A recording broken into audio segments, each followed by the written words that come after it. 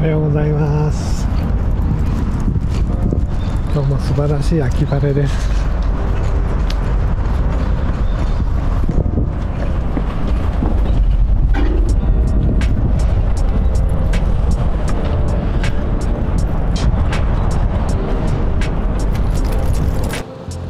昨日はですね千葉のある地区に行きまして超南海集合住宅密集エリアに行ってまいりました。おかげさまで荷物持ってめっちゃくちゃ走りまして今朝はもう寝てても足つりそうなぐらいでしたね。あくるくるくるという感じでで筋肉伸ばして未然に防ぐというそういう技をなんとか寝ながらやってました、はい、ちゃんと夜寝る前にストレッチしないとダメですね。で終わったところであみーちゃんまたろっか。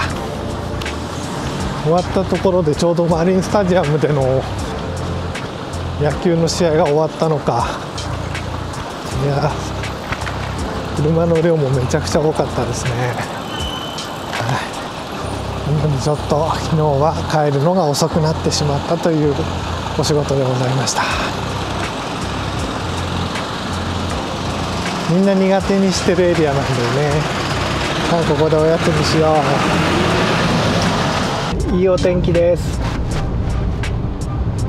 今日今は見えないんですけれども朝すごい富士山綺麗でした。昨日もそうであの本当に絵に描いたような富士山でした。下が水色で上が白い雪がかかっていてね。かっこよかったでございます。富士山見えると嬉しいですね。いやこれから Amazon フレッシュ2時間行ってまいります。この間はねあの荷室パンパンでしたからね。あの高さがないんで横から見るとスカスカなんですけれどももうずっと荷物があのずらっと並んで体育座りしてるような感じになってます。はい。では今日はどんなになりますんでしょうか。では行ってまいります。積み込み終わりました。えっと今日は6箇所。荷物はと29個と結構多めです。ドーンとあります。えっと1個目 1, 1件目がですねあの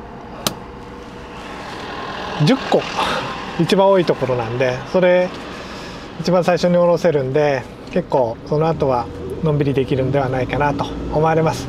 それもあのマンションとかの上の方行くのではなくて、えっと、結構大きめの一戸建てみたいな感じでしたのでまあスーッと下ろせるんではないかなと思います。では行ってまいります。明日の花火の会場です。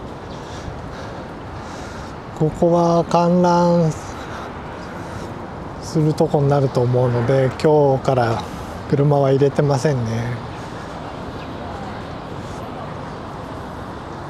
すごい椅子がずらって並んでる。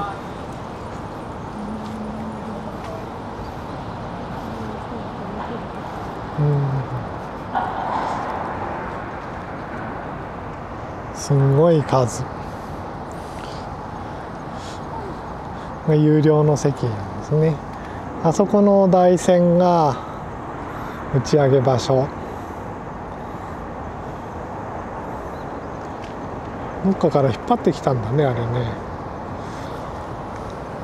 普段あの台船はないよね。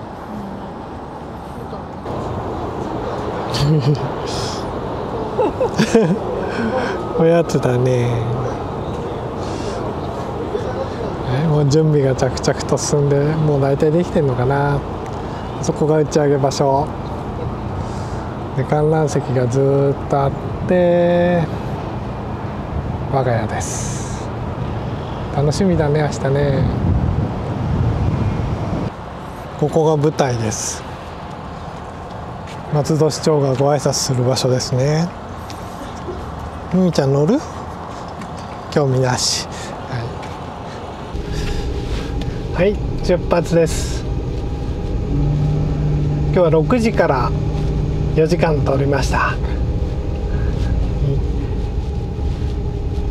夕焼けが綺麗です。でももう仕事始まる頃は暗くなっちゃいますね、本当に季節回るの巡るのが早いです。では気をつけて行っていきたいと思います。こんないっぱいです。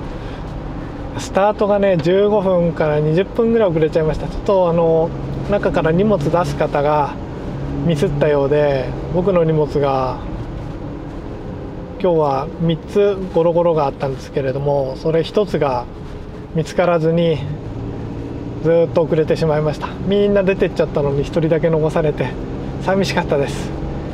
これからうんと配達するんですけれども葛西なんで遠いです。やっと浦安まで来ました。あと10分ぐらいで着くかな。では頑張っていきたいと思います。ではでは。